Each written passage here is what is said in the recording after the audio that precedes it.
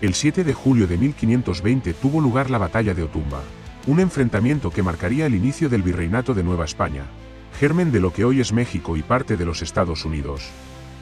Esta victoria fue decisiva no solo para Hernán Cortés y su ejército, sino también para el proceso de conquista y consolidación del imperio español en América.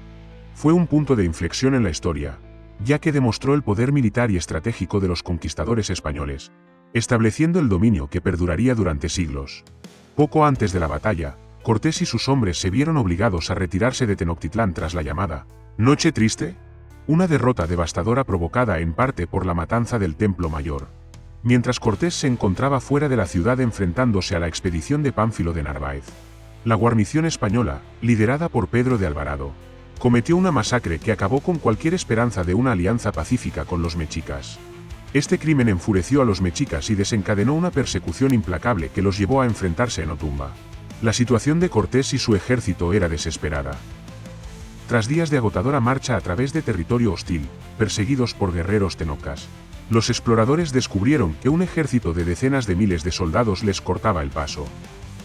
Estaban rodeados, superados en número, y la rendición no era una opción.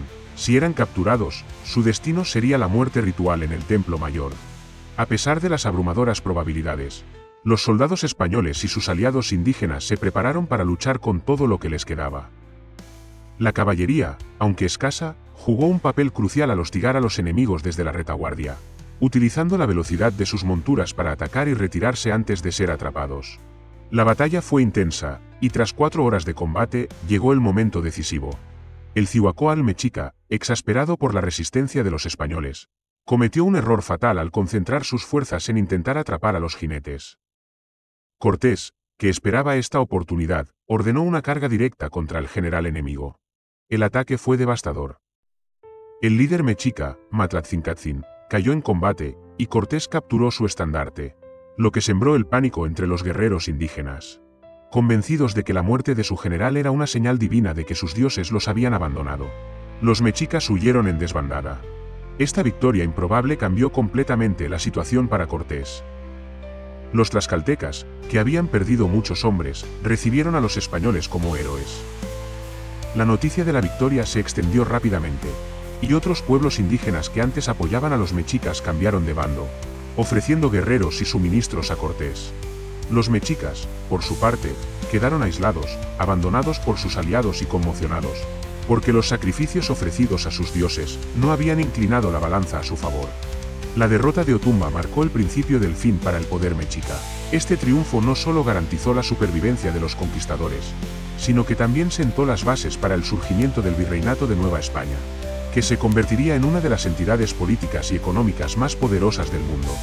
La Nueva España no solo englobó lo que hoy es México, sino también vastas extensiones de lo que actualmente son los Estados Unidos, América Central y Filipinas.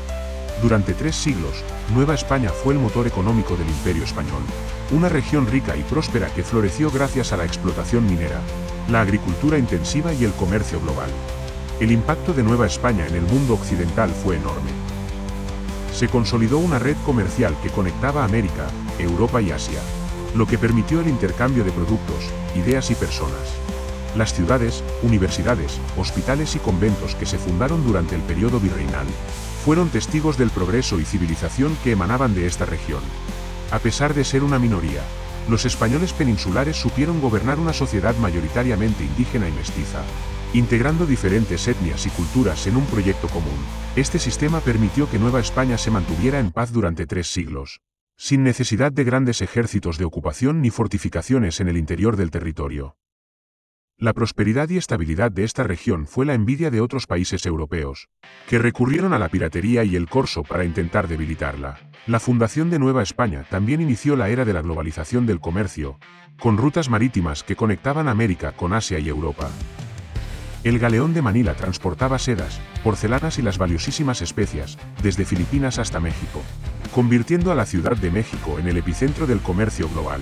Este auge económico y cultural fue una de las grandes contribuciones de España al mundo occidental, revitalizando a una Europa decadente tras la caída de Constantinopla, a manos de los turcos, debilitada y empobrecida, al ser cortada por estos, la original ruta de la seda, histórico y vital motor, del comercio europeo con Asia. Finalmente, la batalla de Otumba no solo fue un triunfo militar, sino también un símbolo del poder de la voluntad humana frente a la adversidad. La victoria de Cortés y sus hombres en Otumba abrió las puertas a la creación de una nueva realidad en América, una que transformaría el mundo para siempre. Si quieres conocer más a fondo los detalles y las implicaciones de este hecho histórico, te recomendamos adquirir el libro La destrucción de Nueva España, disponible en Amazon o contactando directamente con el autor en la descripción de este vídeo. No olvides, darle me gusta al vídeo y compartirlo en tus redes sociales para que más personas descubran esta apasionante historia.